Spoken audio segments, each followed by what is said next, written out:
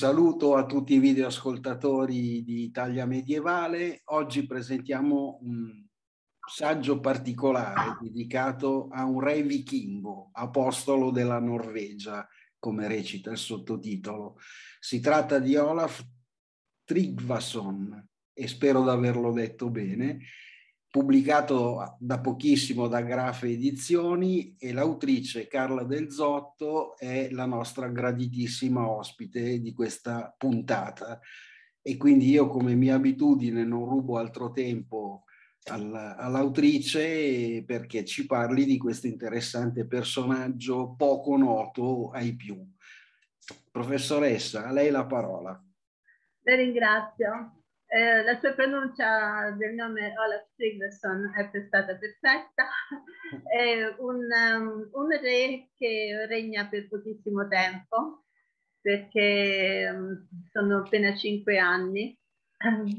E secondo poi una cronologia che dovrebbe tener conto delle fonti anglosassone, in realtà il suo regno dovrebbe terminare nel 999 più che nell'anno 1000 però questo poi ci porta al problema eh, della eh, divisione dell'anno eh, civile ehm, in Islanda e i cronisti storici seguono questa ehm, cronologia islandese, per cui l'anno civile iniziava il primo settembre e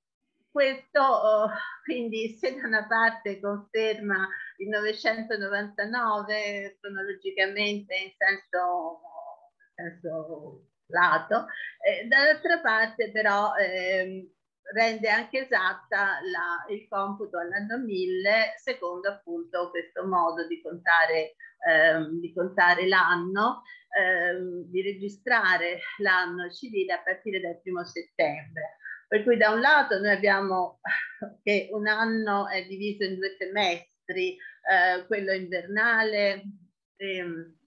e, quello estivo, però ecco all'interno di quello estivo si verifica che inizia il nuovo anno civile e quindi questo um, per rendere ragione di quanti trovassero a volte indicata la fine del regno di Olaf Tryggvason nel 999 invece che nel 1000. Um, questo, questo re eh, eh, è un personaggio legato alla promozione del cristianesimo non soltanto in Norvegia ma in tutte le isole atlantiche. E um, sostanzialmente ha anche una fama di santità, una, una santità che però non viene riconosciuta, uh, primo perché non fu mai trovato il corpo dopo la battaglia navale di Svolgo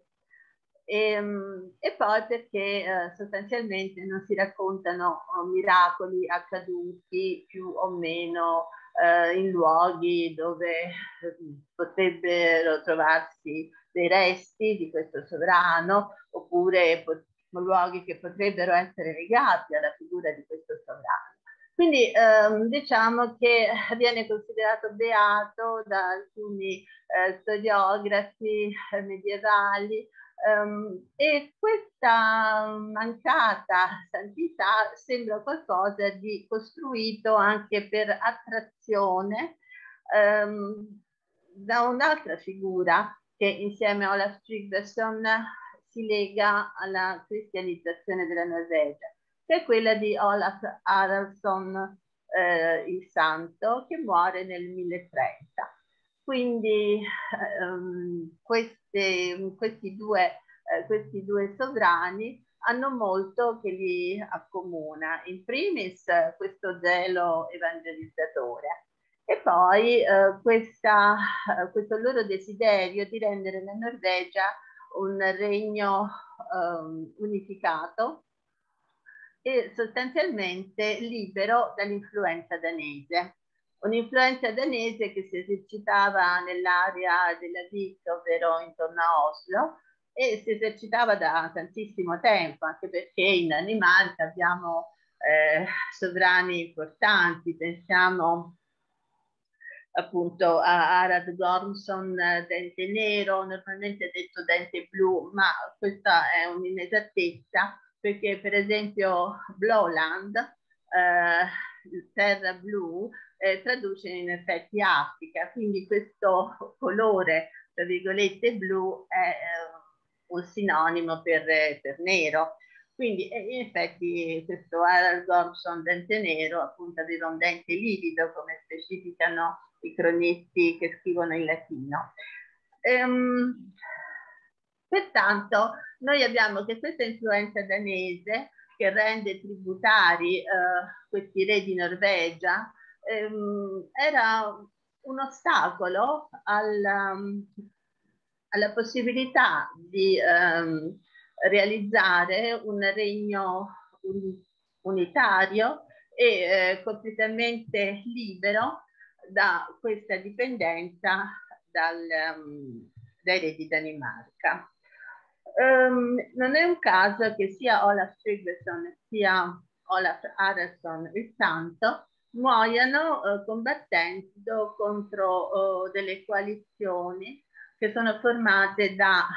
danesi con svedesi e una parte di norvegesi.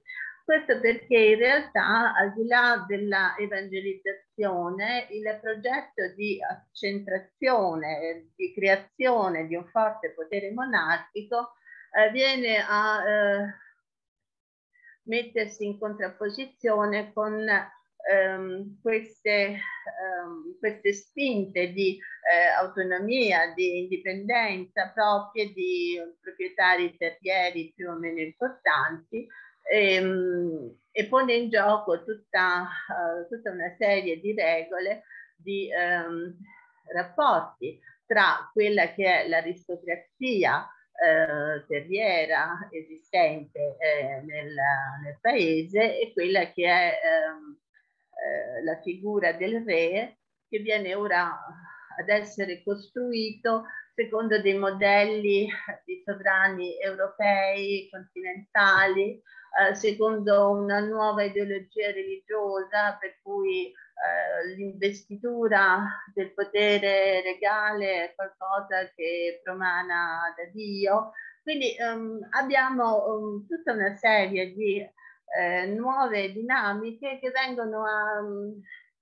a entrare in gioco ehm, proprio con questi, con questi due sovrani, a partire con Olaf Tryggvason. Olaf Tryggvason del resto, come poi il suo successore, il uh, Olaf Arason, il santo, ehm, di santo ha ben poco,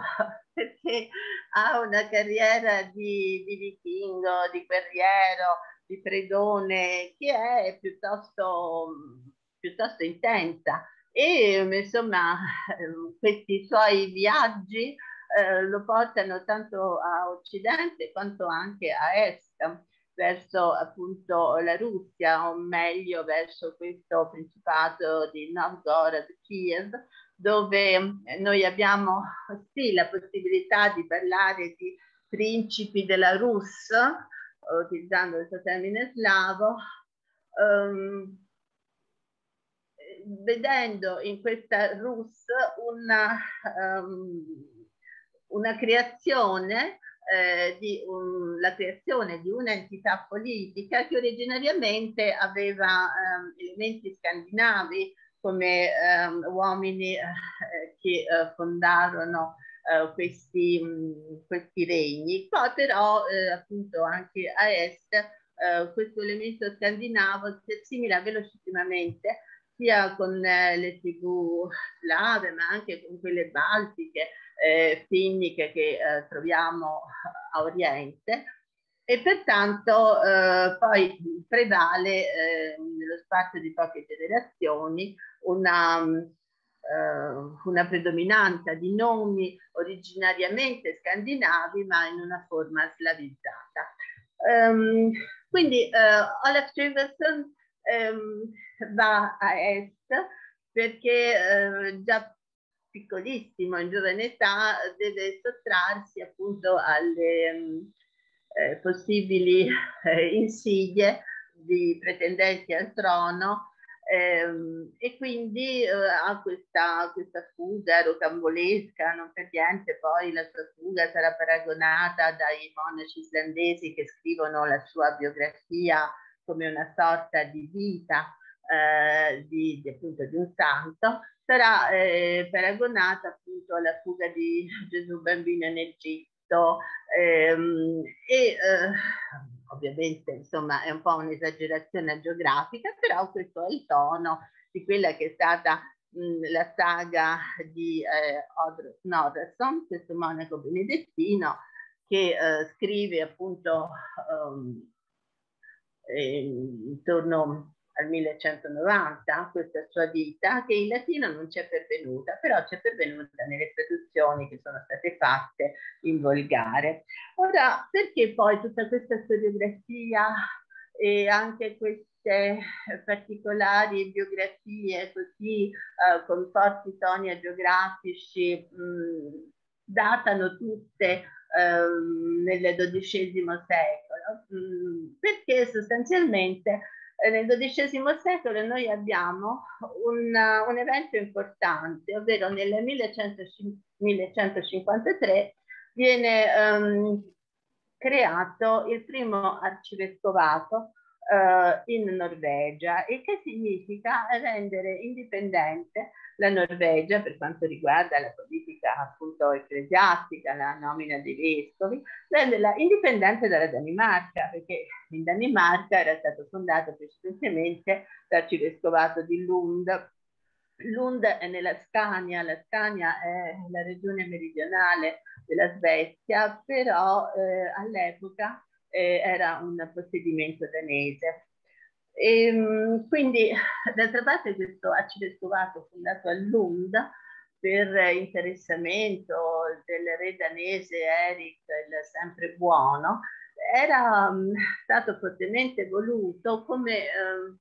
tentativo di affrancare eh, questi paesi nordici dalla dipendenza dell'arcivescovato di Amburgo-Brema, quindi sostanzialmente dalla Chiesa tedesca che poi significava anche rendersi più indipendenti da una certa politica filo-imperiale. Quindi um, ovviamente nel 1153 questa, la creazione di questo arcivescovato in Norvegia è un fatto epocale e um,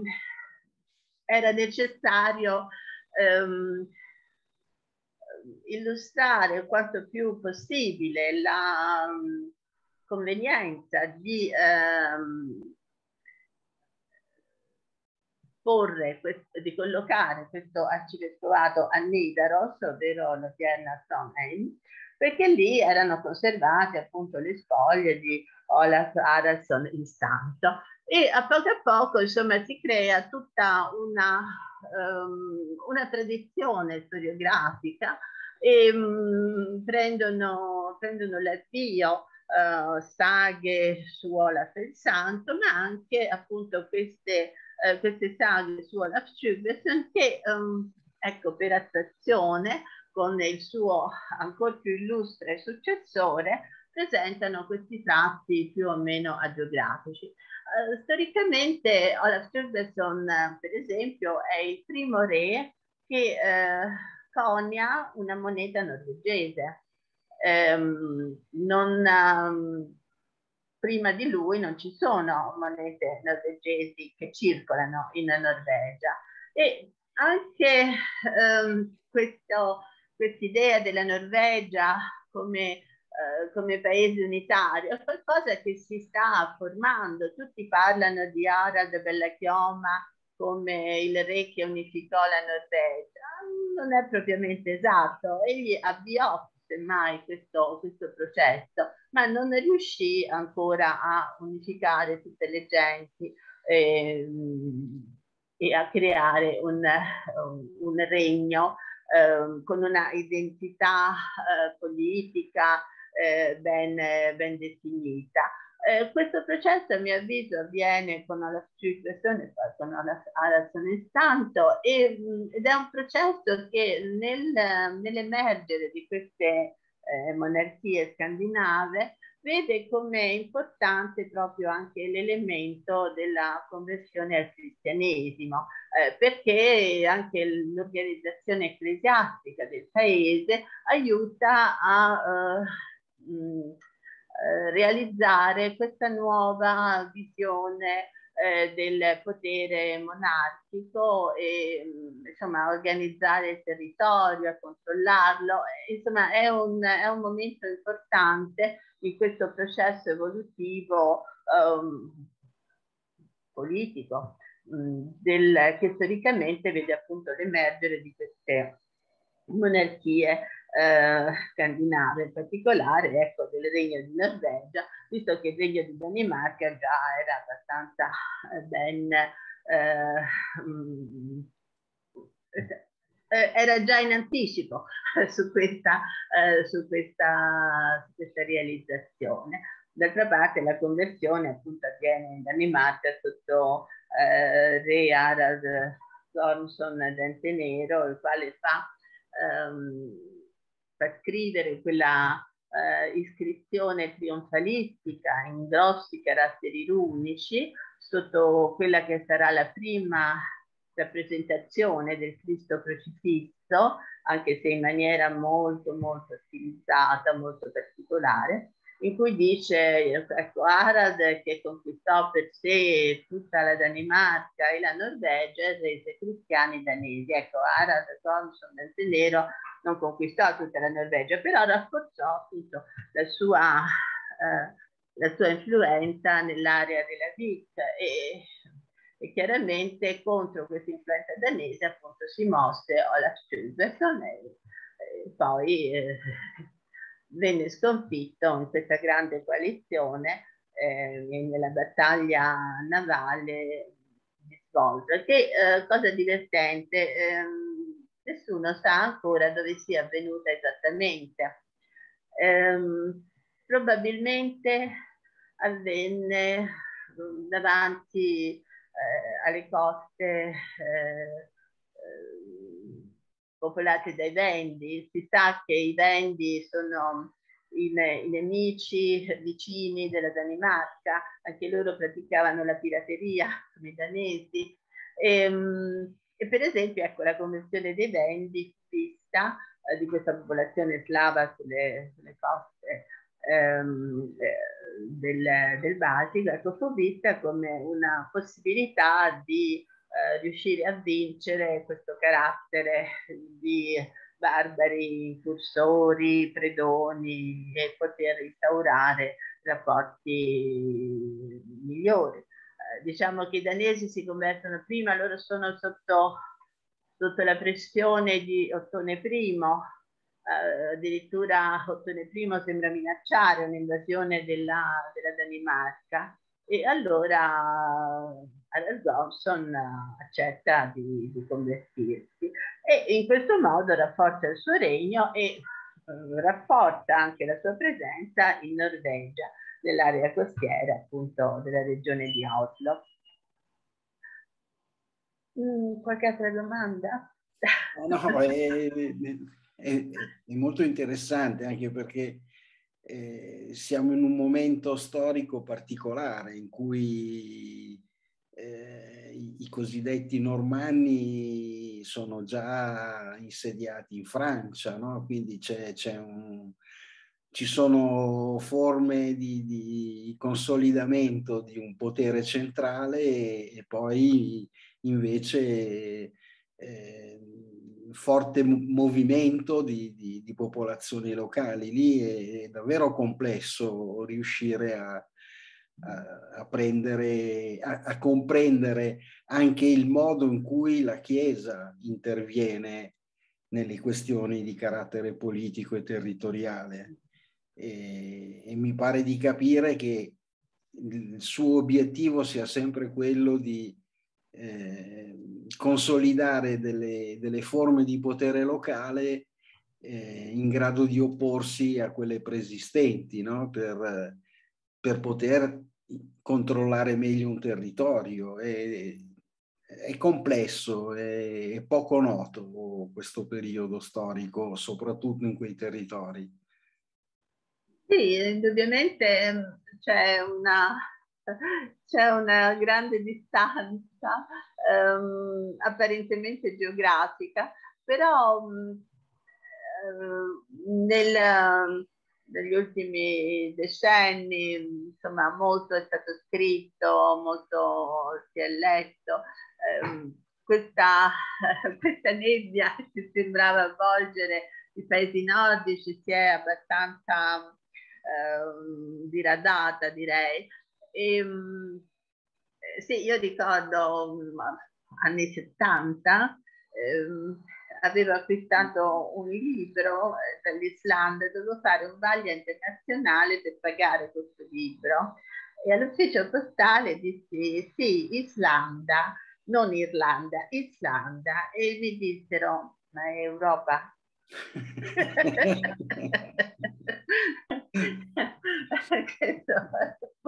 un po' divertente. Però insomma adesso, adesso penso che questa domanda non la farebbe più nessuno, è cambiato tanto, ci sono stati anche cantanti rock, abbiamo visto la nazionale di calcio islandese eh, qualche anno fa che ha fregato un po' tutti, no? Eh, ecco, questo poi doppio mestiere di, di, dei calciatori, calciatore dentista, calciatore postino, insomma, ecco, quindi Indubbiamente gli islandesi sono, come disse già Saxo Grammatico, eh, sono um, i custodi proprio della memoria storica di queste terre, eh, però eh, Saxo, che essendo danese è sempre un po' velenosetto, aggiunge, eh, sì, gli islandesi non hanno loro imprese di cui scrivere tanto, quindi per questo si interessano molto a quelli altrui. Ecco, questa è la parte successiva di quella affermazione che apparentemente sembra essere una lode degli islandesi che tanta attenzione danno alle vicende storiche del passato, eh, del, sì, anche loro, ma di, anche, anche, di altre genti. Insomma, Snorri Sturluson la cui raccolta di 16 saghe, eh, ogni saga è una sorta di biografia individuale su un re della Norvegia, quindi nell'insieme questa raccolta di 16 saghe è una storia dei re di Norvegia. Ecco, ehm, Snorri in questa sua opera sembra essere la fonte per eccellenza uh, della storiografia nordica. E così non è, come scrisse una uh, un noto studioso inglese, Snorri illumina il passato, ma se vogliamo avere proprio una conoscenza um, reale eh, più eh, corretta, più um, precisa dei fatti, beh, dobbiamo anche guardare allora altre fonti, altri testi. Ma sicuramente Snorri cerca di eh, mettere in luce tutto quello che è avvenuto e a volte certo un pochino mm, aggiusta, un pochino esagera, un pochino colora, potremmo dire. Mm, ma per tanto tempo è stata ritenuta una fonte autorevolissima, cosa che invece oggi si tende a mm, riconsiderare, anche se appunto la sua, sua Enskringla la storia di, di Norvegia è qualcosa che si legge sempre con molto, molto interesse. Professoressa, io se, se, non ha altro da aggiungere, credo che la cosa utile sia ricordare ai nostri videoascoltatori il titolo del suo saggio, che è Olaf Tigvason, soprattutto il sottotitolo per me è più facile, Re Vichingo, Apostolo della Norvegia, pubblicato da Graf Edizione, è un libro di 196 pagine che costa solo 15 euro, che quindi eh, si può facilmente acquistare anche per le, le, le tasche meno, meno ricche, no? E... Le dice in tempi difficili. Eh, allora concludiamo con un indovinello islandese. Qual sì. è quell'oggetto? Qual è quell'oggetto che eh, è silenzioso ma parla a tutti? Ah, eh, l'oggetto silenzioso che parla a tutti. Io non lo so. È il libro. È il libro, certo. e, ehm, e, questo non poteva che essere una, un indovinello islandese, perché appunto per loro questa, questa intenzione del libro, che sia stata la, la forma migliore per conservare e tramandare fino a noi tutto quello che a loro è raggiunto anche per tradizione orale, ma che senza l'invenzione della scrittura, senza eh, l'invenzione appunto della, del libro, eh, la, non, sarebbe, non sarebbe arrivato fino, fino ai nostri giorni. E tengo a precisare che questa invenzione del libro, come la voglio chiamare io qui con una certa libertà, ovvero la tecnica scrittoria, la tecnica di fare l'inchiostro, preparare la pergamena, eh, proprio la conoscenza delle, delle lettere latine, dell'alfabeto latino, tutto questo è arrivato con la conversione al cristianesimo, se no saremmo ancora ai caratteri runici con i quali Harald Thompson pubblicizzava se stesso, diceva io sono quell'Harald che ha conquistato tutta la Danimarca e la Norvegia. Magnifico. Senta, io la, la, ringrazio tantissimo e spero che il libro abbia una bella diffusione e che spinga eh, tutti gli appassionati di storia medievale ad affrontare anche i temi relativi al nord Europa che sono sinceramente un po' trascurati rispetto a, a quelli più importanti dell'Europa centrale o dell'Europa del Sud. Quindi la, la, ringrazio davvero di cuore e ricordo a tutti i nostri videoascoltatori di continuare a seguirci sul nostro sito che è www.italiamedievale.org dove troveranno anche questa video presentazione e, e spero di avere ulteriori opportunità di, di incontrarla in occasione di altri suoi interessanti lavori. Grazie ancora di tutto. Ringrazio lei per l'attenzione, grazie infinita. Música